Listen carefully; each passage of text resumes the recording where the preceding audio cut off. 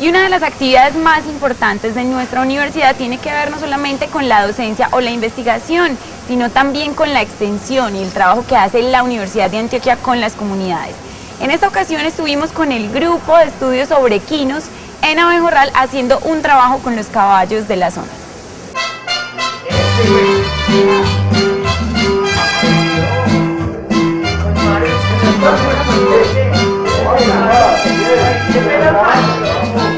Eh, hagamos el examen clínico a los dos y una vez pues, para que vaya junto pues allá. Una observación general de pues como la actitud con que viene el caballo, eh, la postura de los aplomos, el color, pues el pelaje, cómo está. Eh, pues le hacemos acá pues que si tenga pues reflejos.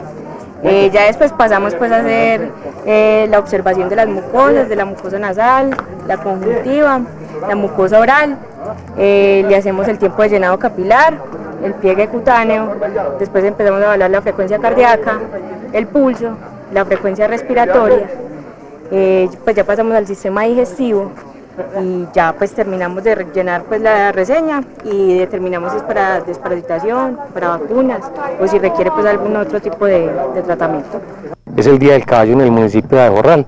A la fecha se han evaluado 800 equinos, en el área urbana, en el corregimiento de Pantanillo, en el corregimiento del Guayco y hoy en la vereda Chagualal. Haciendo actividades de extensión con el grupo de estudios sobre equinos eh, que lo conforman estudiantes de la, de la Facultad de Ciencias Agrarias de la Universidad de Antioquia.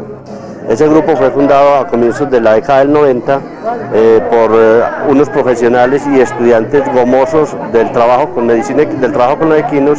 La convocatoria la hicimos a través de la Junta de Acción Comunal, con el presidente de la Junta, eh, con los medios locales, pues con la radio local, todas las charlitas a través de volantes y demás, invitando pues a todos los campesinos que quisieran hoy acompañarnos en esta jornada sanitaria.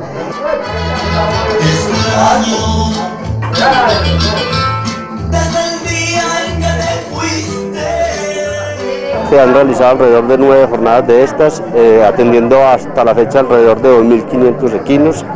Básicamente lo que se hace es que lo primero es un examen clínico al animal, donde determinan pues, las condiciones de salud del animal, se desparasitan, se vacunan contra encefalitis equina, se le revisan los dientes y si tiene algún problema se le hace limadura de remolones.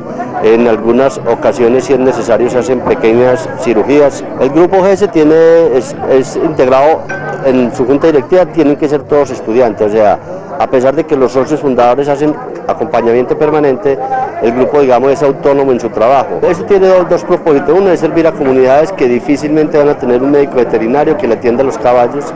Ese es un propósito. Y el otro propósito grande que, se logra también con esto es que nuestros estudiantes se vayan familiarizando con el manejo de los caballos. Hay unas zonas donde son mucho más comunes los ectoparásitos, ¿sí? las garrapatas, como los piojos, otras zonas donde es más común la lesión en los, en los aplomos y en los cascos de los animales. Queremos fortalecer la parte académica, ¿sí? con seminarios, que es lo que pensamos hacer para el otro año, y fortalecer el, el tema social, ¿sí? la extensión solidaria, que ha sido como la actividad que nos ha definido desde un principio. Nosotros generalmente somos localizados allá en la, en la Escuela de Medicina Veterinaria. ¿sí? La gente se acerca a la facultad. Yo me enteré por la administración municipal que aquí en Chagualal iba a haber esta jornada del caballo, este día del caballo.